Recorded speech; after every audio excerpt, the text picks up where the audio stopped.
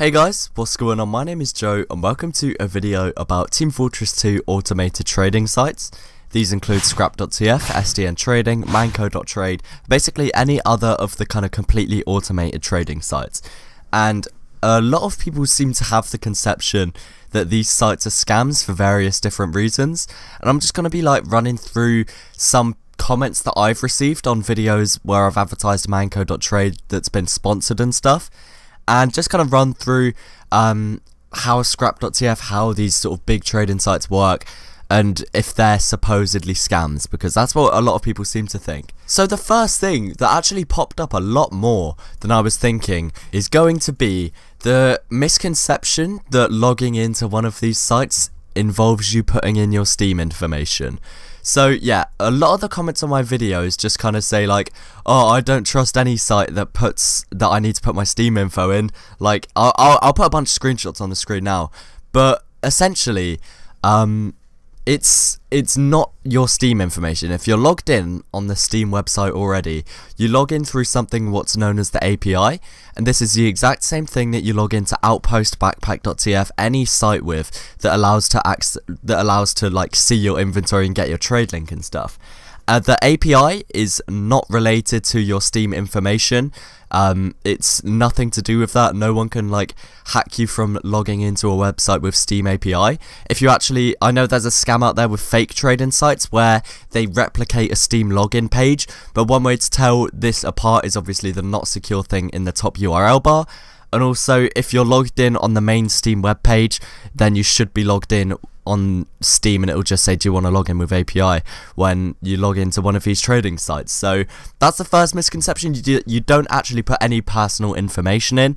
It's not like you need to put in your Steam login and verification code and stuff because if it's a true trading website, if it's a true like official website, then all you'll need to log in with is the API. Another reason people seem to think these sites are scams like scrap.tf etc is because of the extortionate prices they pay. So what I'm going to do now is head over to scrap.tf and show you the prices that they pay for my unusuals and I'll also do the same on the other websites.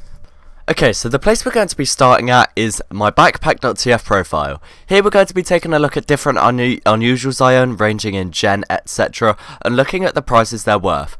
So for example, We've got this Blizzardy Storm Exquisite rack that was kindly donated to me for 85 keys. It's worth 85 keys. Of course, I don't trade trade uh, donated unusuals, so it's going to be staying in my backpack, but hypothetically, this is 85 keys. Uh, Burning Beanie, 56, and let's just take a look at Halloween. So 33 keys for this Starstorm Modest, and 22 keys for this demo hat. So the first place we're going to be looking at is STN, which is down. It's temporarily disabled while they're working on an improved version. If that improved version ends up being better than these other two sites, I'm not sure. Um, onto scrap.tf, they pay 40 keys, basically 41 keys for my exquisite rack, which is 44 keys less than backpack.tf price. They pay 30, basically 31 keys for my burning beanie, which is like uh, just a quick refresh, 56 and 31. So that's about 24 24, 25 keys, something like that, um, keys knocked off, which is a pretty big portion for a first gen hat. Um, the Starstorm Modest, which was 33, is down to 18, which is nearly, I would say around 50% almost, but overall in total I think it's about 15 keys or so, give or take. And they interestingly don't take the unusual taunt.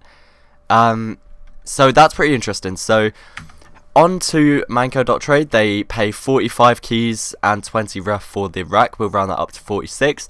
They pay 34, which is a tiny bit more acceptable for the Burning Beanie, uh, and 20 for the Modest Metal Pile. Now, they only pay 8 keys for this 21 key taunt. And if we take a look at the buy listings, they're also only 8 keys, and the sale listings are even 15, so I mean, this is probably due a drop anytime soon. Look at all these listings, man. Anyway, uh, the point I want to make here is, you may notice these items are heavily discounted, okay? Like, this is over 50% off. A lot of people would say this is a scam. They're only giving me 8 keys for my 20 key taunt. They're only giving me 40 keys for my 80 key hat. You've got to understand that for this whole banking system to work, even on scrap.tf as well, they need to buy low so they can sell for affordable prices. So if we go on scrap.tf now and buy unusuals, once they actually decide that I'm indeed not a robot, when I actually get authenticated, so let's just see what unusuals we can buy. The thing you're going to notice is the price they're selling for is also lower than backpack.tf price, which means you can also quick buy.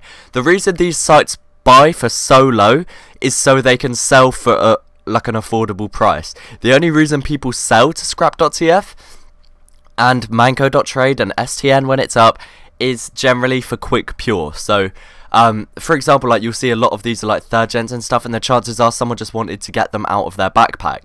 And that's the reason that they pay so low, is just so they can sell low as well, because at the end of the day, they're not going to give you like a normal quick sale price of like 25 to 30% off because that means to make a profit they'd have to sell it at full price. So if they offered me like 65 70 keys for this rack they'd have to pay 85 keys or, or, they'd have to sell it for 85 keys. And realistically why would someone pay 85 keys for it from scrap.tf when there may be a seller for lower than that? Or why would someone pay 85 keys from scrap.tf when that's just the normal backpack.tf price that everyone else is buying for so or, or selling for rather? So that's what you've got to realize is that to actually make this whole banking system work on every single one of these sites, they need to buy very low to sell for low. And um, if you don't want to sell for that, then I mean, you can go out of your way to find a quick seller. But as you see, if I wanted to get quick pure from a buy order on backpack.tf for my Hellish Inferno Deep Fried Desire, which was also donated, so not for trade, but hypothetically, I'd only be able to get 8.18 keys, and that's the highest buy order there is.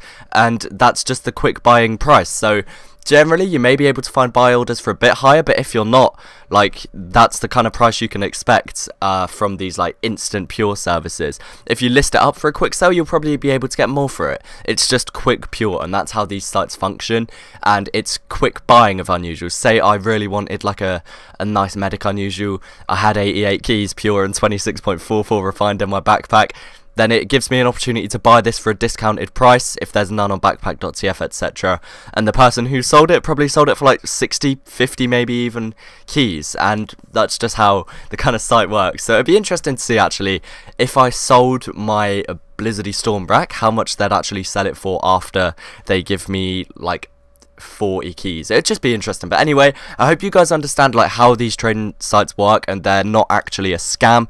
It's literally like the unusual system anyway. It's literally just a place where you can get quick pure. Um, it's essentially just selling it to a quick seller. It's just done through an automated process. Uh, the buy orders generally won't be much higher than the scrap.tf etc prices and it, it's just generally like it's I don't know man it's really hard to explain but if once you kind of see past the fact that it's you know they buy low to sell low. You can understand why they lowball so much. And if you don't want to sell it for so low just sell it to a normal buyer. Don't sell it to an automated site. One thing i just want to make super clear is that this isn't like targeted for everyone. You know, the the target audience of these sites isn't everyone. It's only people that want to quick sell their items for quick pure. So if you want to sell your item for full price and pure, obviously an automated trading site isn't the best place to look for that. And that's what I think a lot of people are kind of misconstruing. But yeah guys, I just wanted to make this video to clear a few things up. People don't set, uh, tend to be too happy when I do sponsored videos for like mannco.trade etc. And it's completely understandable, but if it's not a service that interests you or it's not a service where you'd quick sell your unusuals, then just don't. Like, just quick sell it to someone else, or just sell it for a normal price, or just trade it as usual. The service is specifically targeted for people who want quick pure, and then the site can also sell on those unusuals for a discounted price for people who want the unusuals or are, are, are looking to un unload their pure and kind of invest it into unusuals. So I hope you guys kind of see that aspect of it. Um, as long as it's like logging in through the API, then you should be safe on that part. It's but I may make a video in the future about these fake sites that are popping up because um, there's like a the, I'll go into it at another point. But basically, there's these fake trading sites where you log in um, through a fake Steam website and it gets all your details. But yeah, guys, that's just about it for this video. Thank you all so much for watching. Let me know your thoughts down below. If there's any other kind of scam things, etc. you'd like me to talk about, then once again, let me know down in the comments below and I may make a video about it in the near future. Just make sure it's not something I haven't already covered before because generally that tends to be requested a lot when it's something I've already spoken about and I, am not going to kind of make the video again. But yeah, guys, if there's anything I should make a video about to let people know and like to let them be wary, uh, comment below below. And thanks again for watching guys, and peace.